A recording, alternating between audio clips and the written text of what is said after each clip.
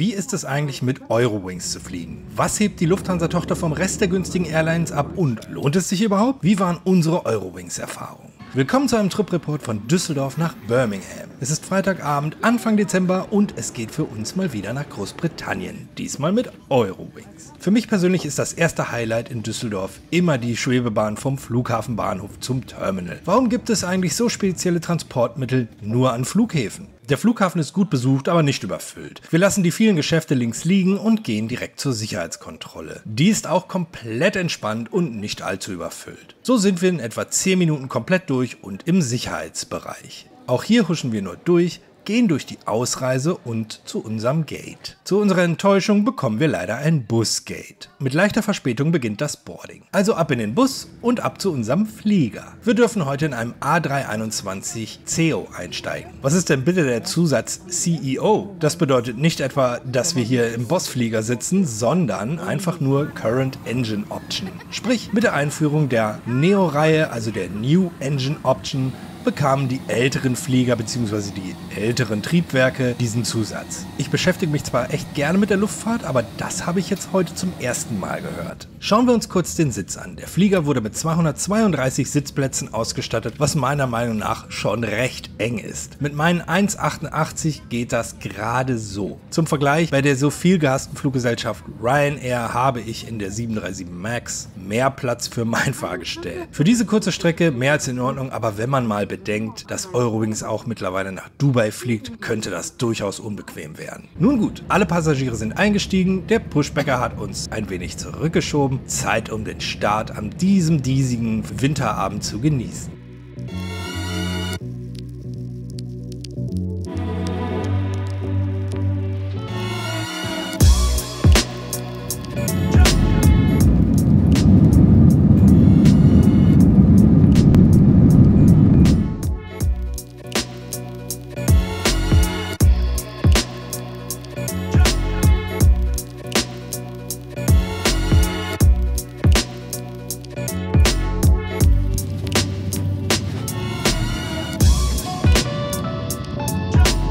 Noch ein paar Daten zum Flug. Wir befinden uns hier auf Flugnummer EW 9330 von Düsseldorf direkt nach Birmingham. Wir überqueren die Niederlande und werden insgesamt rund 715 Kilometer zurücklegen. Der gesamte Flug im A321 dauert eine Stunde und 15 Minuten. Kurz nach dem Start wird dann auch das bordeigene Online-Portal Wings Connect eingeschaltet. Und das empfinde ich als das Feature, welches Eurowings vom Rest der Budget Airlines abhebt. Was bietet euch also Eurowings Connect? Nun, in der Theorie ziemlich viel. Ihr könnt aktuelle Fluginformationen sehen, euch das Onboard-Menü ansehen, die Preise sind ganz in Ordnung, 9 Euro für eine Currywurst oder 12 Euro für ein Eurowings-Modell. Bezahlen könnt ihr kontaktlos mit eurer Kreditkarte. Online gehen für Preise von 3 bis 8 Euro, aber ehrlich, wer braucht das bei einer Stunde Flug? Reisemagazine ansehen, um Inspiration für euren nächsten Urlaub zu bekommen? Spiele spielen. Das klappt übrigens auch auf einem Laptop, hat mein Sohn für euch getestet. Und in Theorie sollte man Serien schauen können. Das hat bei unserem Flug nur leider nicht geklappt. Ich habe es mehrfach versucht, bekam aber immer wieder dieselbe Fehlermeldung.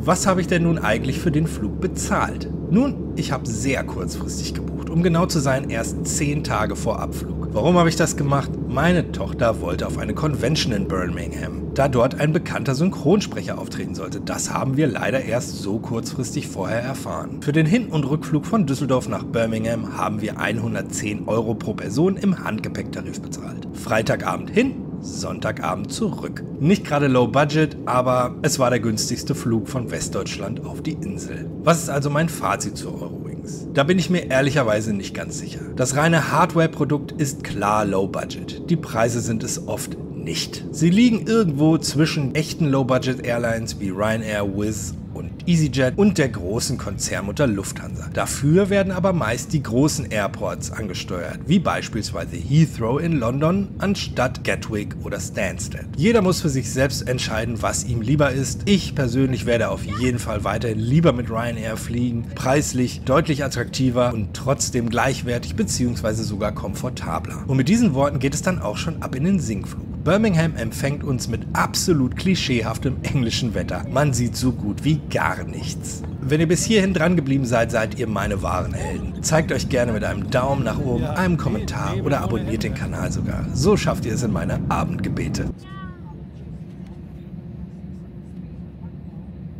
Für uns geht es jetzt ins Hilton direkt neben dem Flughafen. Wir haben uns extra ein Zimmer mit Blick aufs Rollfeld gesichert, weil ich unbedingt schöne Zeitrafferaufnahmen vom Rollfeld machen wollte. Das war mit Blick auf das englische Wetter echt herausgeworfenes Geld. Wie dem auch sei, danke fürs Zuschauen, habt eine gute Zeit.